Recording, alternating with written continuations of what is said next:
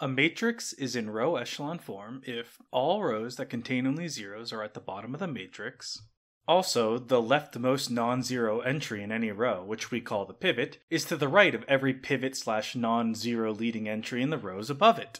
Consider this matrix here. Is it in row echelon form? Well, do we have any rows with all zeros? It looks like we have one here.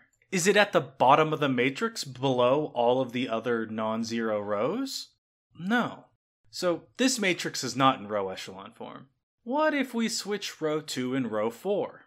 We get this matrix. Is it in row echelon form? The rows that contain zeros are at the bottom, so we satisfy the first condition. What about this second condition? First, from left to right in each row, where are our first non-zero entries? Well, we have a 3 in the top row, 1 in the second row, and 7 in the third row. As we move down from row to row, are these leading entries, which we call the pivots, to the right of every pivot above them? 1 is to the right of 3, so no issue here. 7 is to the right of 3, but 7 is not to the right of 1. The pivot or leading entry of our third row is not to the right of every pivot or leading entry in the rows above it. This is not in row echelon form because we do not satisfy the second condition. What happens if we swap row 2 and row 3? We get this matrix. Each of our pivots or leading entries, 3, 7, and 1, are to the right of the pivots or leading entries above them. Some people refer to this as the stair-step pattern for the pivot slash first non-zero entries of the rows. This matrix now satisfies our first condition and our second condition, and so this matrix is in row echelon form. Let's move on to some more examples. Take a second now to look at the following five matrices and determine if they are in row echelon form. Please pause if you need to because we are hopping right into classifying them. First, let's focus on our first condition again. All four zero rows must be at the bottom of the matrix. These three matrices have rows of all zeros. Are any of these rows not at the bottom of the matrix? Well, the matrix in the top right corner has a full zero row above a non-zero row, and so it is not in row echelon form.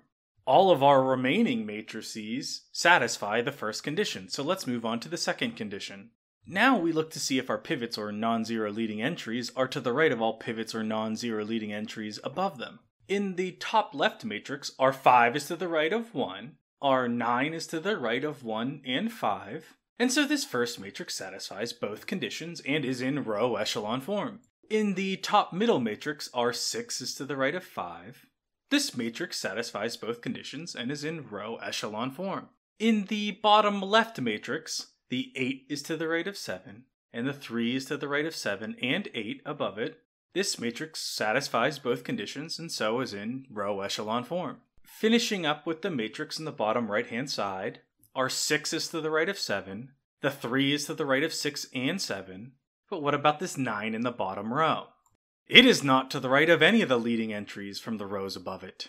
This matrix fails the second condition, and so this matrix is not in row echelon form. Essentially, to satisfy these two conditions, our matrix cannot have two pivots or leading non-zero entries in any column, so no stacked pivots, our pivots or leading non-zero entries cannot be to the left of the pivots in the rows above them, and our zero rows cannot be above non-zero rows. If you see any of these within your matrix, you know it's not in row echelon form.